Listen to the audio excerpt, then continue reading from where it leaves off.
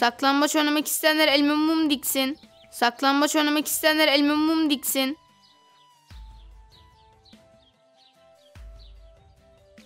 Bir, iki, üç. Ebe sensin. Ama bu haksızlık. Neden haksızlık olsun ki? Sen ebe seçildiğin için mi? Sen de bizim gibi parmağını hızlıca çekseydin. Hayır, onun için değil. Ne için o zaman?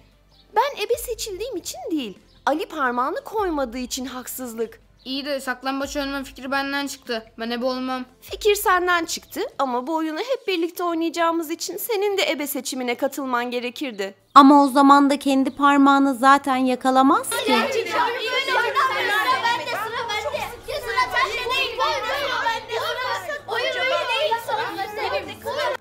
piti piti yapalım o zaman. Sokağın sonundaki ağaca kadar koşu yarışı yapalım. Yarışı kaybeden ebe olsun. Ama senin bacakların çok uzun ve de çok hızlı koşuyorsun. Bence bu da haksızlık Taş olur. fırlatmaca oynayalım o zaman. En uzağa taşı fırlatanlar ebe olmaktan kurtulsun. Ben taş fırlatmada hiç iyi değilimdir. Ben de.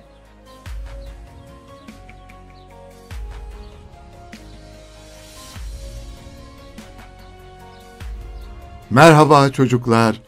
Gördüğüm kadarıyla ebe seçme konusunda küçük bir anlaşmazlık yaşıyorsunuz. İsterseniz peş peşe iki oyun oynayarak bu anlaşmazlığı birlikte çözebiliriz. Ne dersiniz? Tamam. İlk oyunumuzun kuralı çok basit. Biliyorsunuz ben çiçekleri çok severim. Bu sabah bahçemdeki menekşeler dört farklı renkte çiçek açtı. Bahçeye girmeden, duvarın üzerinden bakıp da menekşelerin rengini kulağıma söyleyenler ebe olmaktan kurtulacaklar. Söyleyemeyen ebe olacak. Anlaştık mı? Anlaştık.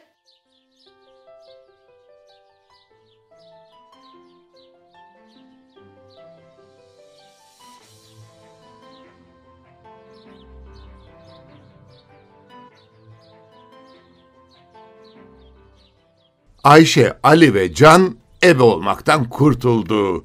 Zeynep menekşeleri göremediği için ebe olmalı. Ama ben yine de tam emin olamadım. Sizce adil bir seçim oldu mu? Aslında bence bu seçim de çok adil olmadı. Ayşe ve ben boyumuz uzun olduğu için hiç zorlanmadan bu yarışmayı kazandık.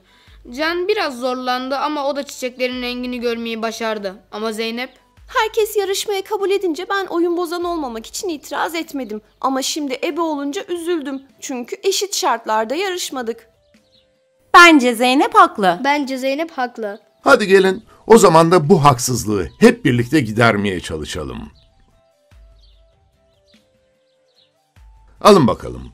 Her birinize birer kasa. Çıkın bakalım üstüne. Bakalım şimdi herkes buradan sokağı görebilecek mi?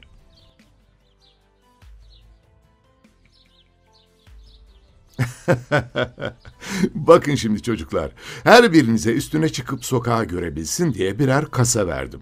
Yani hepinize eşit koşullar sağladım. Buna hukukta eşitlik ilkesi denir.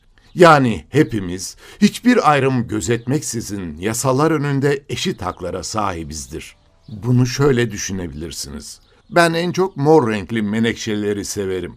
Ama menekşelerimi sularken sarı renkli menekşelerime de, kırmızı renkli menekşelerime de, mor renkli menekşelerime de eşit miktarda su veririm. Böylelikle hepsi aynı zamanda çiçek açar ve bu da beni çok mutlu eder. Ama siz de fark etmişsinizdir ki bu eşitliğe rağmen Zeynep hala sokağı görmekte zorlanıyor. İsterseniz bir de şöyle deneyelim.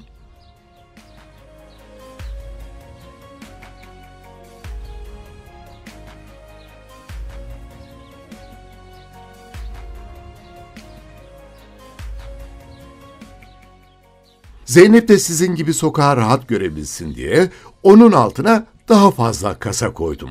Böylelikle adaletli bir dağıtım yapmış oldum. İşte buna da hukukta adalet ilkesi denir. Ne işe yarar ki bu ilke? Bu ilke sadece bugün sizin yaşadığınız gibi anlaşmazlıkları çözmekte değil, aynı zamanda az önce bizim Zeynep'in hakkını koruduğumuz gibi hemen her konuda insanların hak ve hukuklarını göz önünde bulundurarak onları korumayı amaçlayan bir ilkedir. Bunu şöyle düşünebilirsiniz. Kimi zaman benim bir menekşem diğerlerine göre daha yavaş büyür. Yaprakları diğerlerine göre biraz daha küçük olur. O zaman ben de bu menekşemin de çiçek açmaya hakkı olduğunu düşünerek bu küçük kalan menekşeme biraz daha fazla su veririm. Onu daha çok güneş alan bir yere koyarım. Bir süre sonra o da diğerlerine yetişir. Böylelikle ben bütün menekşelerime karşı adaletli davranmış olurum. Hepsi birden çiçek açınca da çok mutlu olurum ve onların da çok mutlu olduğuna inanırım. İşte siz de birbirinize ve diğer insanlara karşı böyle davranırsanız dünyanın her yerinde rengarenk çiçekler açar. İyi ama ebeyi nasıl seçeceğiz şimdi?